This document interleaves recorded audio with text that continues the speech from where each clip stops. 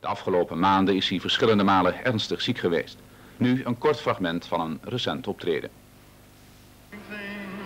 And I could make it stay, this hour of we share would always be.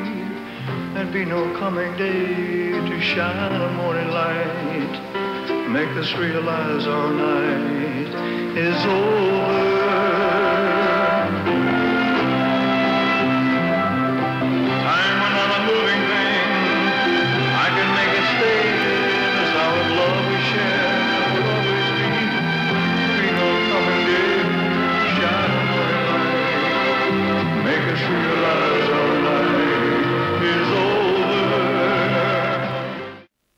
Radiostations gooiden hun programma's om en overal ter wereld klonk weer de muziek van Jailhouse Rock, Heartbreak Hotel en andere tophits waarmee Elvis de Pelvis 20 jaar geleden heup swingend een nieuw tijdperk inluidde in de populaire muziek.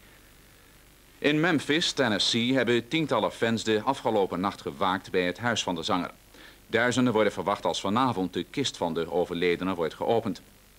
Morgen wordt een particuliere rouwdienst gehouden en dan zal Elvis Presley worden bijgezet in een mausoleum waar ook zijn moeder werd begraven.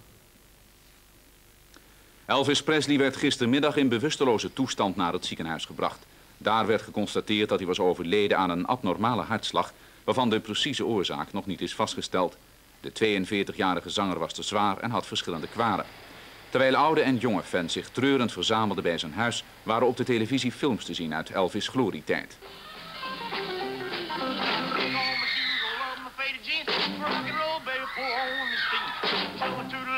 To the right, gonna rock and roll till the early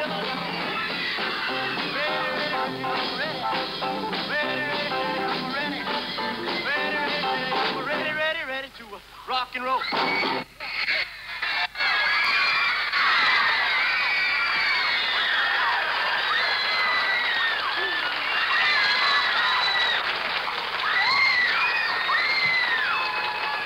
Thank you very much.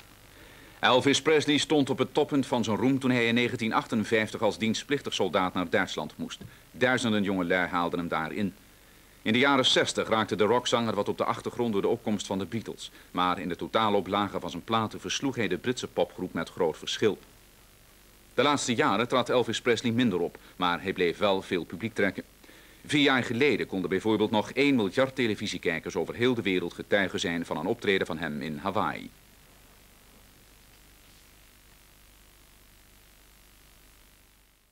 Twee rouwende vrouwen werden gedood en vier anderen raakten gewond toen een personenauto op de menigte inreed bij het huis van Elvis Presley.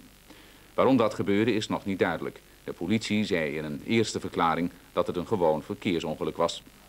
En hoe het er bij Presley's huis de afgelopen uren uitzag, ziet u nu in de volgende reportage. Bijna 30.000 belangstellenden kregen een kans om langs de opgebaarde Elvis Presley te lopen en afscheid van hem te nemen. Maar velen moesten buiten het hek blijven.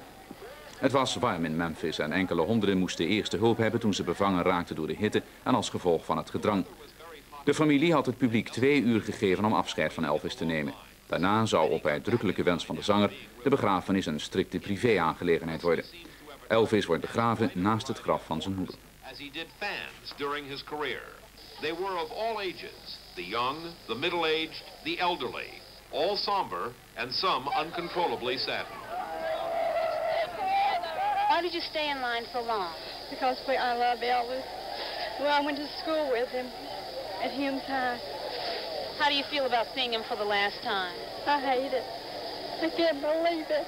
I had to come to see him. I, I loved him. I thought he was such a great person. You saw him for the last time today? Yes. How do you feel? Terrible. I wish I would never come.